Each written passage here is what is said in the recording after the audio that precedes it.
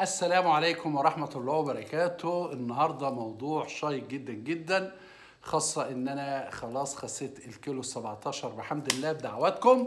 ما تنسوش اللايك والشير فضلا وليس امرا النهاردة بنتناول الحاجة فاطمة ورسائلها لكل الناس وغادة اللي بتقول أنا ما شفتش في حياتي أي راجل قبل كده. يعني مش الرجالة المصريين كخة أو خلاص أو دعوة صريحة منها لكل السيدات إنها تغير الرجالة وتبدأ تتجه للشوام لبنانيين آه سوريين وما شابه ذلك. هنتكلم بكل التفاصيل. مهلا ومعناها مع إن بالرغم إن أنا كنت أكبر داعم لغادة قبل كده ومساند لها أوقات كتيرة جدا. هنقول بس الحاجة فاطمة في عجالة سريعة. الحاجة فاطمة سيدة مش كبيرة أو في السن ومش صغيرة. وإنسانة عندها شخصية آه، قوية جدا وعانت كثيرا جدا.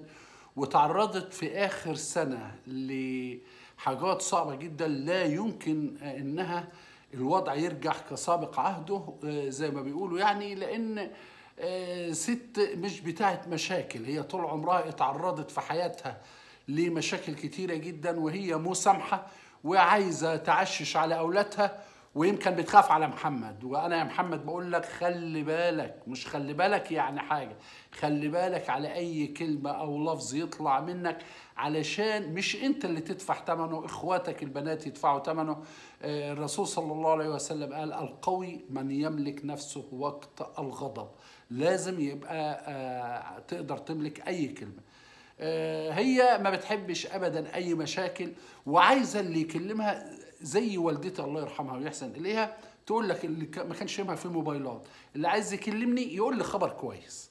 أي خبر وحش يحتفظ به لنفسه. فهي لما بتيجي حد يكلمها دلوقتي أنت تقولي شهادة حق أنت مش عارف. يا جماعة هي مش فاضية للكلام ده. هي خلاص حرام عليكم. أنتوا عايزين تقضوا عليها. أنتوا قضيتوا خلاص على بناتها. يبقى مش هنيجي على الحاجة لا قولي كلمة حق. روحي كلمي بنتك وقولي لها انت عارفة ان أنا ما غلطتش. انت مش مع انه كلكم مخطئين كلكم بدون استثناء غلطتوا.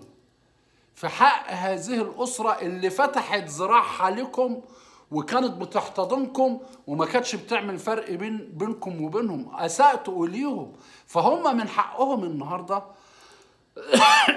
لازم كحة الستين مفيش فايدة يا حاجة فاطمة. فمن حق الحاجة فاطمة ومحمد يقفل على اخواته وعلى والدته. ومن حق الحاجة فاطمة تقول لاخواتها ترد على مين وما ترد لبناتها ترد على مين وما تردش على مين وتفتح لمين بيتها وما تفتحش لمين بيتها. لأن لا يمكن اللي كان زمان هيرجع. الناس اللي مفكرة ونرجع زي زمان عايزنا نرجع زي زمان زي ما قالت أم كلثوم. قول لي الزمان ارجع يا زمن وهات قلب لا داب ولا حب ولا انجرح ولا شاف حرمان. تعتب عليا ليه؟ أنا بإيديا إيه؟ فات الميعاد فات الميعاد. ثم إن كل أيام ولها دولة ورجال. مش معقول اوعوا تفكروا دلوقتي أنتوا كنتوا الأول بتعاملوا مثلا ما دام صدفة.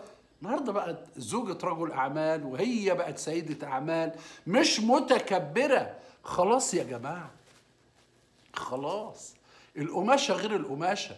كل واحد يبص على القماشة اللي تناسبه ويشت يعني وكده بدون تجريح في حد رجاء عشان خاطري.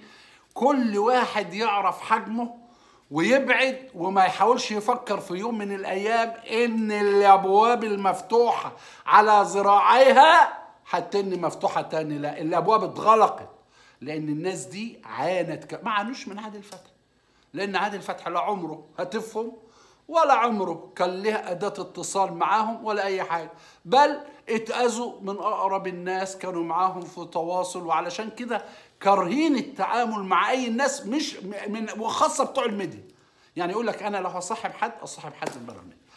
خلونا بقى في غادة أم الرجالة آه، وزوجها السوري ربنا يبارك لها ما حدش بيتنمر عليكي يا غادة. أنا كنت أكتر واحد مدافع عليكي. لكن زي ما نصحت زيزي بينك وقلت لها إن كنت هتخش مجال التمثيل والسينما والشاشة الفضية اعرفي إن أنت أمامك حرب بلا هواده أو رحمة أو شفقة. أنت بتقولي الناس بتتنمر عليا في حين أنت اللي بتتنمري على كل الرجالة المصرية. بدليل اللي أنت بتقولي أنا ما شفتش راجل في حياتي غيره غير السوري. طب هو ده ما يعتبرش تنمر؟ يعني الراجلين اللي كانوا قبل كده كانوا مثلا كمالة عدد كانوا لا بيهشوا ولا بينشوا.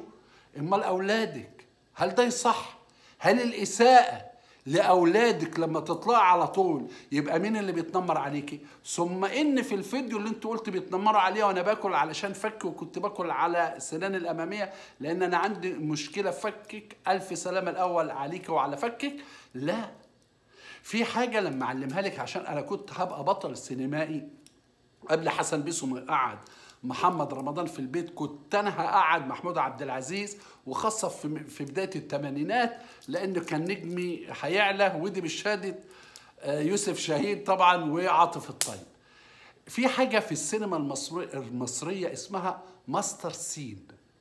أنا عارف إن أنت نفسك تمثلي وكل بساتك تمثيل والعياط ده بتاع أمينة رزق وأنا عارف إن أنت ممثلة جد يعني جبارة بس انت للأسف سبحان الله انت اللي الأصول تاخد أدوار البطولة. يجي السيناريست وائل أبو السعود يروح يجيب حسن بيسو ويروح يجيب مين؟ آه زيزي بنك مع إن هي غادة.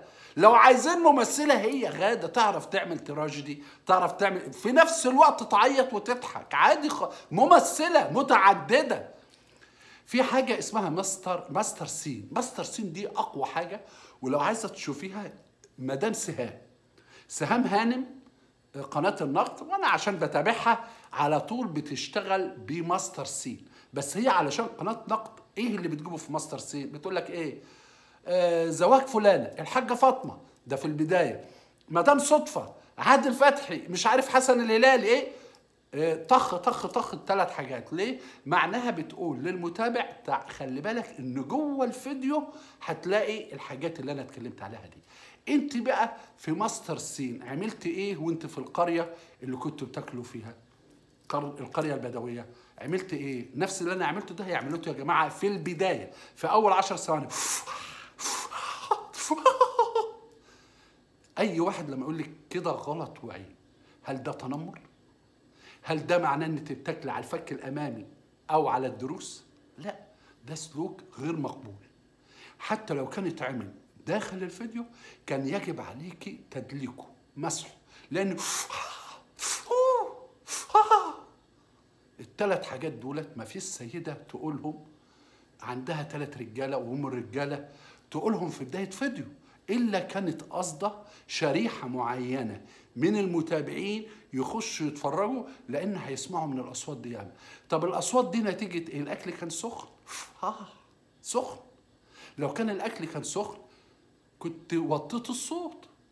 لو كان أساسا اللقطة دي أنت حاسة إنها عادية ما كنتش حطيتيها في المقدمة. كنت خليتيها في سياق الفيديو. لكن أنت تعمدتي إنك تحطيها في المقدمة علشان تعرفي إن دي أقوى حاجة أو كما تسميها السينما المصرية master scene يعني القوة. زي مثلا عبد الحليم حافظ في فيلم الخطايا يقول له أنا مش ابنك. أمال أنا ابن مين؟ يقول له ضارب بالقلم. انت مش ابني. طخ يروح عماد حمدي ضربه. دي اسمها master scene. أو زي حسين فهمي. حس- حسين رياض. في فيلم رد قلبي. لما وقف في الثورة هو مشلول وإيه آه، رجليه إيه الشلل هيضيع منه وبيقول تحيا الثوره تحيا الثوره وأولاده علي وصلاح ذو الفقار وشكري سرحان جا وشكري سرحان بجواره دي حاجة اسمها ماستر سين. زي مثلا ماجدة في فيلم وأسلماه وهي بتقول وأسلماه ومحمدا هيا إلى الجهاد هيا إلى الجهاد. دي حاجة قوية في الفيلم علشان تجيب آه، آه، متابعيه. زي فيلم بجاد أخو آه، زوج الشيماء. لما طلع بيجري أحمد مظهر في فيلم فجر الإسلام لما طلع فوق على على الجبل وأعلن إسلامه وقال أشهد أن لا إله إلا الله وأشهد أن محمد رسول الله. دي اسمها أقوى حاجة في الفيديو. طب أنا هقول غلطة ما تقصدهاش. طب في الفيديو اللي قبله بتاع آه، مرسى مطروح وشاطئ الغرام والكلام ده والشاطئ بتاع ليلى مراد اللي هو مش عارف أساسا مين ليلى مراد ولا هي بتعمل إيه؟ مع إن هي اسمها ليليان إسحاق مردخاي وكانت يهودية وبعدين آه، أسلمت وابوها إبراهام آه، مردخاي وأخوها زكي آه، مراد أو زكي مردخاي. عملت إيه؟ جيت في master scene رقصتي أو لف خليتي يغمرك كده ويلف بيك وتلفي ياخدك لفة. طب لما لفيتي؟ لا. انت بقى يعني معنى كده بقى كل دعوة لكل واحدة مصرية. وانت بتقولي أنا آه، ما شفتش في حياتي راجل. يعني إحنا إحنا كرجالة بقى إيه مصرية إيه نقشر بصل مثلا؟ لا. أنت اللي تنمرت. ما حدش تنمر عليك. أنت اللي تنمرت على الراجل المصري إنه راجل خرع وإنه راجل ما بيعتمدش وان أنت كنت الراجل وإن ما فيش راجل مص- مصري كان في حياتك امال الراجلين دولت كانوا في حياتك إيه؟ أنا ماليش دعوة بفلان وعلان ومحمد والمشاكل وماما مش عارف مين والمشاكل اللي إحنا خضناها معاكي كبيرة جدا. أمال جبت الأولاد دي إزاي؟ لما هم مش رجالة كنت بتجيبي ثلاث عيال معاهم ليه من يوم الدخلة كنت تطلقي من بعد الدخلة بأسبوع تقولوا له أنت مش راجل. أنت مخلي بتعتمد عليا إن أنا أنا الست وأنا الراجل. بقى لقيت في السوري ده هو الراجل. أنا مع احترامي الكامل. لكل إخواتنا الشباب والسوريين واللبنانيين والأردنيين لهم منا كل تحية. ولكن هذا الكلام خارج السياق وما ينفعش ومش مسكنه وصعبانة إن أنت تطلعي وتقولي قنوات النقد ماسكني غاسليني عامليني مخليني. لا يا غاده كل اتحاد كل الاحترام. فيديوهين طبعا مقصود بيهم ماستر سين إنك بتعلي التون بتاعك في لقطات ما ينفعش إنها تتحط في محتوى جيد جيد لائق. بسيدة مصرية أم الرجالة اللقطتين آه، لنا عليهم ملاحظ كتير جدا بس أنا المرة دي مش هتكلم بس إن شاء الله جايز تبقى حضرتك على الخريطة عندي في اللي جاي إن شاء الله. كل التحية وكل الاحترام لمحبي ومتابعي عادل فتحي في كل مكان والسلام عليكم ورحمة الله وبركاته.